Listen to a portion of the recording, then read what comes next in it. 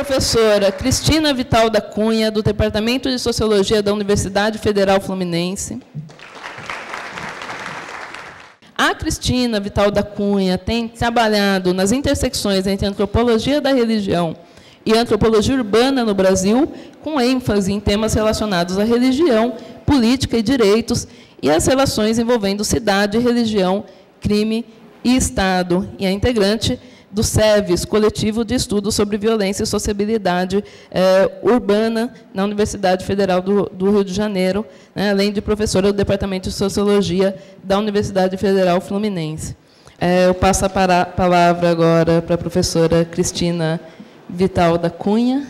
Então, boa tarde a todos. Muito obrigada, Ronaldo, é, pelo convite a integrar aqui esse evento, que eu acho da maior importância política e também no debate acadêmico, né? E eu estou expondo ali é, algumas imagens que estão também ali fora, que integram, digamos, aqui o evento, né, como uma exposição de fotografias intitulada Estética e Liberdade, na qual apresento imagens relativas a dois eventos é, nos quais a gente pode observar assim as modalidades de adoção de religiosos de matriz africana. Né? Um dos eventos que é a caminhada em defesa da liberdade religiosa, caminhando a gente se entende que acontece no Rio de Janeiro desde 2008 na orla de Copacabana e um outro evento que foi muito pouco noticiado, digamos, na mídia, porque foi eclipsado pelo início das, é, da Copa, né? que foi um evento em Brasília, em 10 de junho do ano passado passado, no qual religiosos de matriz africana também tiveram reunidos em Brasília, levando um documento, um dossiê que apresentava os vários casos de intolerância religiosa eh, no Brasil ao ministro da Justiça. Né? Eu vou deixar as fotos eh, passando e e vou pedir alguma generosidade, talvez, assim, da mesa, é, nesse debate agora meu. Por quê? Porque eu tenho assim, uma demanda é, intelectual e emocional bem reprimida em torno de tratar esse tema que eu vou tratar hoje, que é da Frente Parlamentar de Terreiros, porque em diferentes eventos que eu vim participando, tem sido sempre tematizada a pesquisa que a gente fez lá, o ISER, UF e o Museu Nacional, e que resultou na publicação Religião e Política, que foi uma publicação minha com o Paulo Paulo Leite Lopes, e a gente veio acompanhando, então, a Frente Parlamentar Evangélica naquele período, fazendo entrevistas com religiosos da frente, Marco Felicianos, que não são da rede, mas compõem e integram as atividades da, da frente, que é, por exemplo, o Bolsonaro né, e outros políticos. E, e hoje é, eu acho assim bem especial a gente poder falar sobre essa frente, porque, é, segundo o que nos consta, é o, a, a, a, talvez a, primeira pesquisa que está dando conta de acompanhar é, os religiosos de matriz africana na atuação política no Congresso Nacional. Né? Então, é, eu vou acompanhar, é, essa apresentação é dividida, assim, digamos, em duas partes. Né? A primeira parte, na qual eu vou falar da Frente Parlamentar de Terreiros na, na legislatura passada, né, que foi quando ela foi criada, e na legislatura atual, pensando é, diferentes centralidades argumentativas que, evidentemente, têm é, relação com diferentes modos de operação da frente num momento e no outro. Tá? Então, a Frente Parlamentar de Terreiros, como ficou conhecida na, na mídia, né? ou a Frente Parlamentar Mista em Defesa das Comunidades Tradicionais de Terreiros, foi lançada em 29 de junho de 2011. É, a interface com o movimento social é absolutamente fundante, estruturante da frente, né? e dois grupos foram explicitamente reconhecidos como os principais impulsionadores dessa frente, que foi a FOAFRO, que é o Fórum Religioso Afro-Brasileiro do Distrito Federal em torno, e assim do Brasil, que é o coletivo de entidades negras. Né? É o Marcos Rezende, um articulador fundamental aí da SEM, é, disse em declaração que a SEM era um dos principais articuladores, e no blog do Paulo Henrique Amorim, Marcos Rezende ressaltou que a criação da, aspas, da frente parlamentar foi uma demanda das organizações do movimento negro que contou com o apoio dos deputados Valmir Assunção, do PT da Bahia, e de Érica Cocai. Né? É, segundo noticiado pela SEM do Brasil, as conversações entre o movimento social e parlamentares para a criação da frente é, tiveram início em março de 2011. E é claro que o contexto, portanto, aí no primeiro mandato da presidente Dilma Rousseff. Né? E é claro que o contexto social e político que viabiliza uma iniciativa como essa tem origem em uma série de fatores, dentre os quais podemos destacar a própria criação da CEPIR, é, no início do primeiro mandato do presidente Lula, que ficou conhecido como, abre aspas, o presidente mais negro do Brasil, segundo a deputada Janete Pietá, do PT de São Paulo. Também a criação do Estatuto da Igualdade Racial é, é um contexto importante para a criação da frente, entre outras ações realizadas aí a partir de 2003. Né? A composição da frente ela é majoritariamente é, de partidos de esquerda e a gente, nas muitas organizações de material da, da, pesquisa, a gente resumiu o nome da frente em FPT, e aquilo fez o maior sentido em termos da análise do, do próprio coletivo que compunha a frente, porque dos é, 13 parlamentares, já são 13 parlamentares que integram que integravam nesse período a Frente Parlamentar de Terreiros, 13 no número do PT. Sendo que, dos 13 parlamentares, 10 eram parlamentares vinculados ao PT. Os outros três, um do PCdoB, outro do PSOL, que é o João Willis, e, e um outro deputado do PV, que era o Sarney Filho. Né? É, e, e, lembrando também que toda a frente parlamentar ela deve ter ser assinada pelo mínimo de 171 parlamentares. Então tem sempre um núcleo duro, digamos, que que compõe a coordenação da frente. E esse núcleo duro que compunha a coordenação da frente era marcado por essa forte presença de, de, parlamentares do PT. Né? E, então, em termos do perfil desses parlamentares, a gente tinha, então, eh, parlamentares com uma atuação muito forte em temáticas que envolviam diferentes minorias, é, a maioria oriundo do movimento social, a maioria dos parlamentares que compunham a estrutura da frente é negra, boa parte deles filiados ao PT desde a década de 80, a maioria nordestina, com destaque para os baianos, e vale lembrar também que essa frente não era integrada por nenhuma liderança religiosa autodeclarada. Né? Assim, não legitimam sua participação política ou sua integração à frente, operando pela via da confessionalização da política, né? como fazem os evangélicos na política e, mais recentemente, também os católicos. Né? Em termos dos objetivos,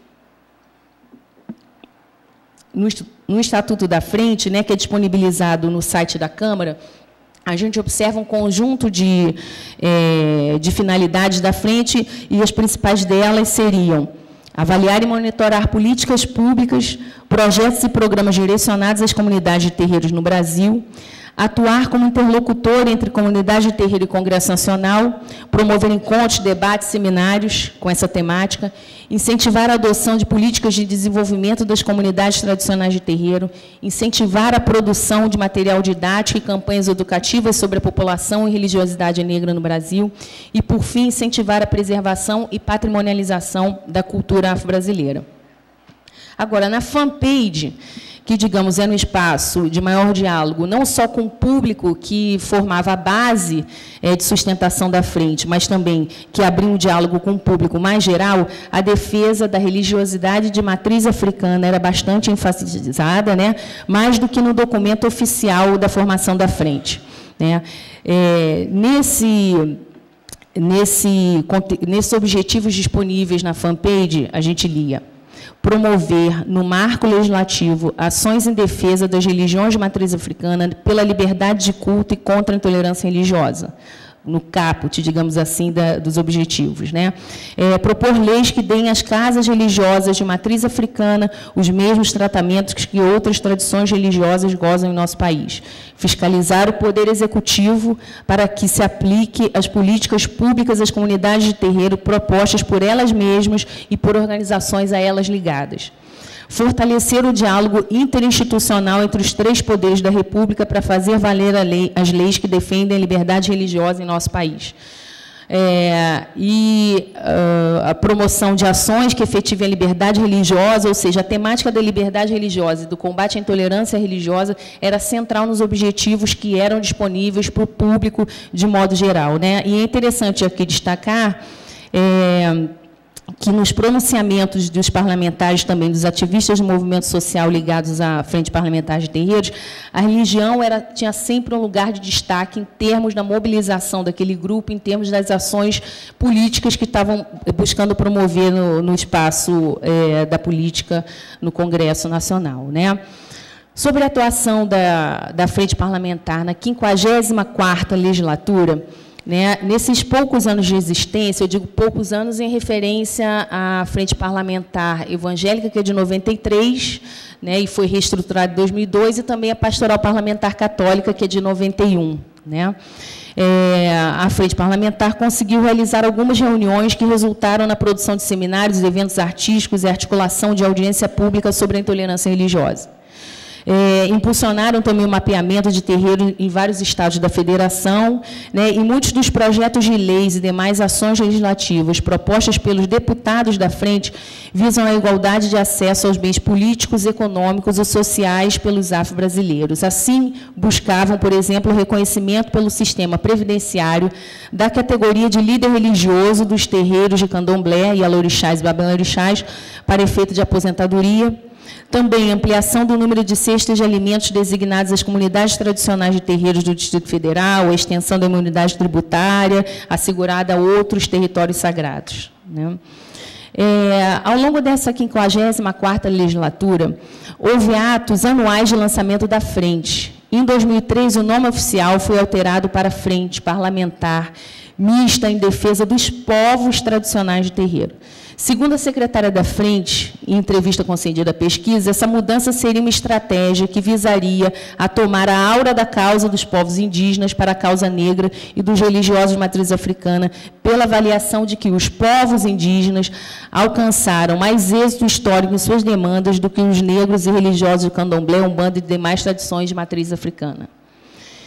Em termos mais gerais, no pronunciamento de parlamentares e na declaração de lideranças religiosas do movimento negro, estava marcada a centralidade estratégica do combate à intolerância religiosa, pois nesse combate estão postas algumas categorias vitais no debate, como a defesa da liberdade religiosa, o reconhecimento da importância cultural desses religiosos e da territorialidade por eles produzidas. Né?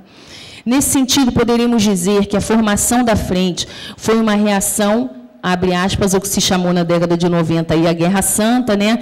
E a partir dos anos 2000, elas se multiplicam e ganham visibilidade social, seja na mídia, nas pesquisas, né? Ao longo da legislatura, contudo, a defesa da religiosidade foi dividida lugar com outras bandeiras. A então secretária da Frente afirmou categoricamente que os parlamentares vinham se referindo à Frente mais como comunidades de matriz africana para marcarem o lugar do direito, não só a liberdade religiosa, mas a defesa da cultura. A defesa da laicidade também seria central para a Frente Parlamentar de Terreiros, e essa defesa não se contradizia em relação ao amplo destaque dado à religiosidade de matriz africana, visto que ela, a religiosidade de matriz africana, era tratada como elemento cultural a ser preservado e a garantia da liberdade de crença e culto emergiam como uma defesa mais geral de direitos. Né? É, agora pensando na 55ª legislatura, que é a legislatura atual, a gente teve em 14 de maio de 2015, agora desse ano, o relançamento da frente com o nome de Frente Parlamentar em Defesa dos Povos Tradicionais de Matriz Africana. Tá? Foram suprimidos do título, portanto, as palavras terreiros e comunidade. Essa FPPT, agora nas nossas é, considerações aqui, é pluripartidária, tem uma coordenação vinculada a cinco diferentes partidos identificados com a esquerda ou centro-esquerda no Brasil. Né? A presidência da frente permanece com a Érica Cocai, que já presidia na legislatura anterior. Né? E agora tem a composição de uma, uma coordenação colegiada, né? composta aí por cinco parlamentares, que tem o Bebeto, PSB da Bahia, o João Willis permanece, do PSOL do Rio de Janeiro, o subtenente Gonzaga, do PDT de Minas, e Orlando Silva, do PCdoB de São Paulo. Essa frente foi relançada em um evento realizado no Salão Verde da Câmara dos Deputados e contou com a participação de dezenas de religiosos de matriz africana e de políticos signatários da formação da frente. A deputada Érica Cocai, que coordenava os trabalhos naquela manhã, em seu discurso apresentou as conquistas da frente na legislatura passada, destacando preliminarmente as ações de combate à intolerância religiosa e em defesa da liberdade religiosa salientou posteriormente que a Frente Parlamentar em Defesa dos Povos Tradicionais de Matriz Africana não se circunscreve à religião. O relançamento da frente deveria ser visto como um sinal da necessidade do Brasil abraçar sua diversidade. O deputado João Willis foi recebido com aplausos e apresentado pela deputada Érica como filho de Oxum. Em seu pronunciamento, destacou a necessidade dos terreiros serem percebidos mais do que como um espaço religioso. Para João Willis, deveriam ser reconhecidos como espaços de execução de políticas e como pontos de cultura. Fez um discurso retomando o contexto histórico da luta dos povos de terreiro, apontando avanços significativos nessa trajetória. Mas boa parte do seu pronunciamento foi conclamar os religiosos à união, à percepção do outro pai ou mãe de santo, não como concorrente. Na conclamação que fazia, a superação da competição e das animosidades seria fundamental para o fortalecimento político do grupo. Por fim, para o sensível incômodo de uns e para o grande contentamento de outros presentes ao relançamento da frente, o deputado conclamou os religiosos a se engajarem em outras lutas que não só as da religião, que se envolvessem na luta contra o racismo, contra é, a violência contra a mulher, contra o preconceito de classe e o extermínio da juventude é, de periferia no Brasil. A Frente Parlamentar de Terreiros, nesse novo momento, constituída por uma base que se apresentava distinta da anterior. Né? Os principais articuladores da frente no movimento social estão, nesse momento, ligados ao Centro Memorial de Matriz Africana 13 de Agosto e ao Fórum Nacional de Segurança Alimentar e Nutricional dos Povos Tradicionais de Matriz Africana, o FONSAPOTEMA. Tá? Observa-se aí um deslocamento geográfico, que se configurou também em mudanças nas estratégias políticas da frente.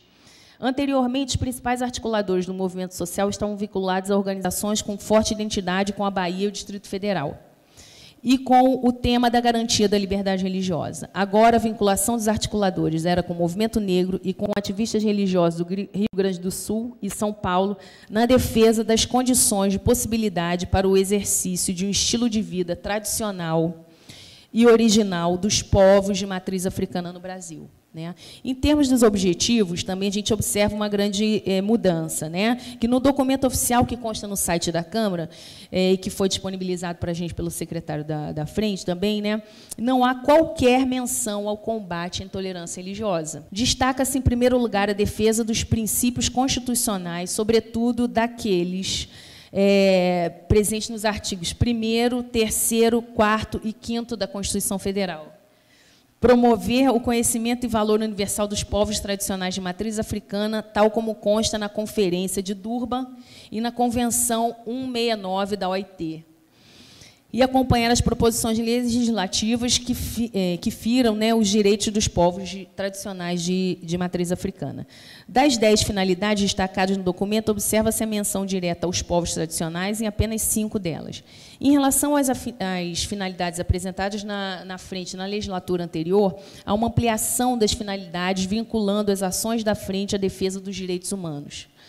É, em termos dos modos de atuação, né, a nova versão da, da frente parlamentar é, se reestruturou de modo interessante que aponta para ganhos em termos orgânicos e políticos estratégicos. A frente parlamentar vem se organizando em torno da formação de teias legislativas. Né? Essas seriam a formação de frentes homônimas e unificadas em torno de um projeto político comum nas assembleias legislativas estaduais e nas câmaras municipais pelo Brasil afora. Agora, em 27 de outubro, vai ter o lançamento da frente lá no Rio Grande do Sul. Né? Faz parte também da articulação política da frente levar os seus temas às comissões e conselhos federais e estaduais, a fim de disputarem a pauta e o direcionamento de políticas públicas de diferentes níveis da federação. Outro trabalho previsto pelos articuladores da frente é elaborar marcos conceituais, isso é bem importante em termos do trabalho deles, né, que unifiquem os povos tradicionais na luta contra o genocídio, pelo reconhecimento da dupla cidadania, luta pela conquista da terra. Posteriormente ao estabelecimento desses marcos conceituais, seriam estabelecidos os marcos legais capazes de reparar os sofrimentos causados aos povos tradicionais. Assim, estavam fazendo elaborações sobre a definição dos povos tradicionais, do que é o genocídio, da civilidade dos povos tradicionais de matriz africana e da comida de verdade. Tá? É, a proposição de um plano também de trabalho para frente e o debate com parlamentares sobre o abate tradicional e a formação da primeira cooperativa nacional dos povos tradicionais de matriz africana. Para os articuladores da frente, avançar na pauta seria confrontar o sistema através do enfrentamento da questão da saúde alimentar, dada como estratégica nesse momento da frente. Né? É, nesse sentido, o Fórum da Segurança Alimentar e o Plano Nacional de Desenvolvimento Sustentável dos Povos e Comunidades Tradicionais de, de Terreiro ganha centralidade, assim como a atuação coordenada no Conselho de Segurança Alimentar e Nutricional dos Povos de Matriz Africana dentro do CONSEA. Tá? E na colagem estratégica que produzem, garantir o reconhecimento de uma forma particular de alimentação e reconhecer que havia uma civilidade anterior que, lhes foi negada até então. Né? É, em termos de umas considerações gerais em torno da frente, né, é, os articuladores políticos da frente no movimento social são mais combativos em termos do enfrentamento e questionamento de uma ordem social que os negligenciou como uma tradição, como uma civilidade. Evocam a necessidade de se contraporem, de questionar o status quo econômico e social. Deixam claro nas entrevistas concedidas à pesquisa que a questão religiosa vai sendo eclipsada pela pauta do movimento negro admitem que a questão religiosa, do combate à intolerância religiosa, foi uma estratégia importante no início da frente em termos do reconhecimento político, social e jurídico da intolerância como um crime. Negam a luta, principalmente pela preservação da religião, por entenderem que isso é o que o capitalismo deseja, ou seja, a defesa central da religião de matriz africana seria o que o capitalismo deseja, né? Porque ao lutar pela religião, pela preservação da religião, estariam lutando pelo reconhecimento de alguma coisa que é do âmbito privado, que, abre aspas, me circunscreve a um núcleo específico, me tirando da luta mais ampla pelo reconhecimento de uma civilização e de um sistema distinto daquele vigente no moderno capitalismo ocidental, como eles dizem. Operam com uma noção, portanto, de que a religião é algo individual e do universo privado, que não se miscuiria com o espaço público e com a política. A luta, segundo uma das entrevistadas, é para é, me reconhecer como quem trouxe um conhecimento que foi roubado. E aí, no meio da entrevista, ela acaba soltando que afirmar só o religioso foi uma perda. Porque religioso é ir para o interior do terreiro e não para fora, é aceitar o capitalismo, não vir o movimento, não tem consciência política, na percepção desse ator, né, central agora na frente. Me alimento daquele modo dentro do terreiro e não brigo contra a indústria do alimento, contra o açúcar, porque é privado, é só religioso. Eu quero segurança alimentar não só para o meu terreiro, mas para o meu povo. Tem que batalhar por terra para plantar, brigar por terra coletiva, alimentação tradicional e soberania tradicional. É, as lideranças do movimento social envolvidas na frente dizem que a manutenção do discurso de combate à intolerância religiosa vai perdendo centralidade, mas não pode ser integralmente subsumido a questões já apresentadas ao afirmarem seu lugar como os povos tradicionais, como portadores do saber tradicional e não como religiosos, estão espelhando suas estratégias políticas é, no modo de atuação indígena. Né? E em uma entrevista, o Tata Edson, que é coordenador nacional de articulação política do, do FOSSAPOTEMA, é, disse né, que, e criticando também essa dinâmica de estar só para dentro do terreiro e privilegiando o religioso, ele disse, é que você tem que sair do, de dentro do terreiro. Então, o que é povo, o que é, o que são, né, povos tradicionais de matriz africana que antes chamavam de povo de terreiro.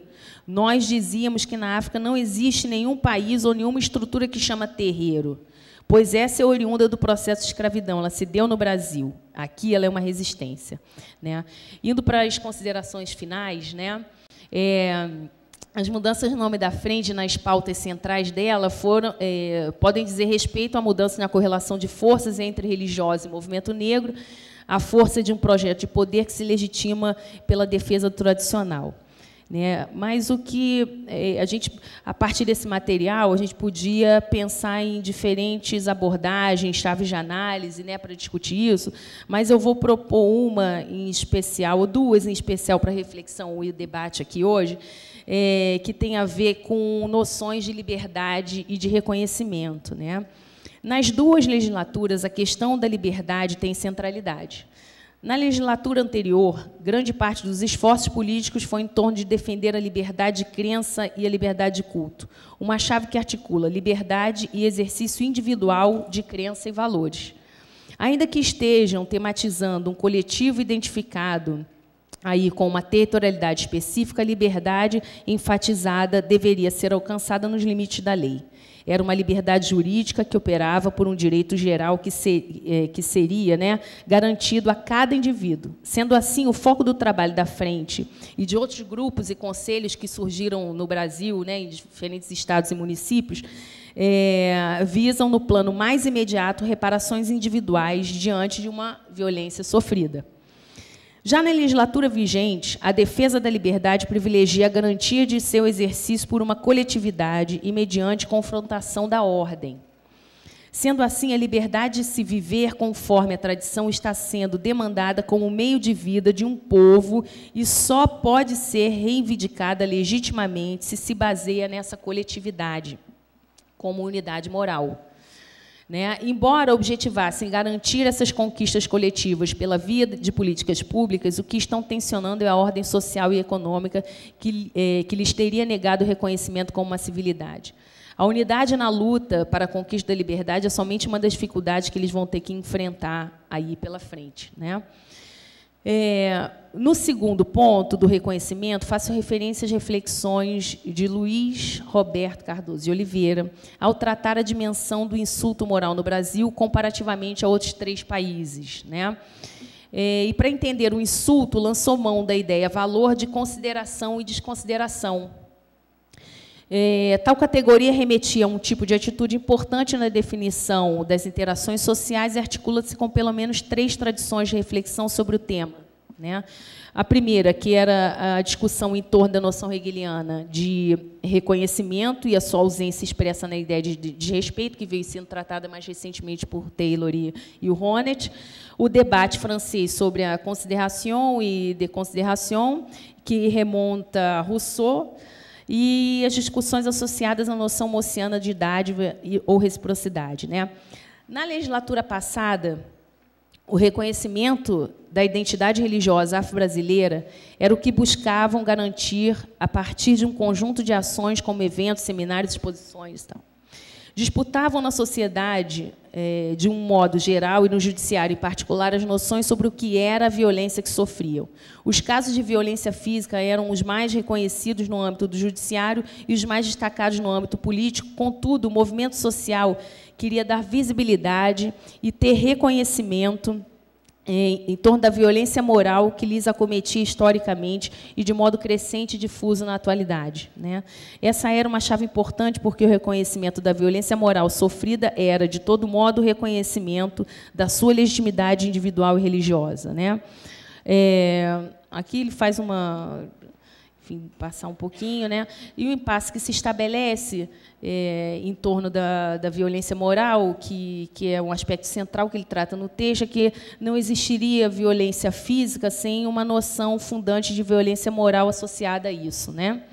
E o impasse que se estabelece nessas demandas por reconhecimento é, pois a reparação via garantias de políticas públicas ou obediência a normas não é sinônimo de reconhecimento social, visto que, segundo o autor também, é, ela se efetiva quando há sinal de apreço à identidade e ao que ela representaria. Então, é para fechar, porque já passou demais o tempo, a ideia é, que ele apresenta, né, que o reconhecimento ele não é reparado jamais de modo perene. É uma luta constante e não, e não há garantia de que a implementação de políticas públicas opere em torno do reconhecimento social é, das demandas e da civilidade dos povos de matriz africana, porque o reconhecimento demanda uma, uma empatia e valorização desse outro e não necessariamente a afirmação de políticas políticas públicas opera nesse sentido. Né? Uma outra noção é importante para pensar também o trabalho deles é a obsessão da perda, que o José Reginaldo vem trabalhando, que é muito interessante, porque está muito é, central no debate da patrimonialização e debate aqui, e, central aqui também, porque essa obsessão da perda opera no, no discurso desses parlamentares e do movimento social, pensando que é, nessas dimensões de tempo que podem ser garantidas a partir dessas, do alcance dessas políticas. Políticas. Obrigada, desculpa pela demora, tá? Obrigada, Cristina. Desculpa pelo controle aqui.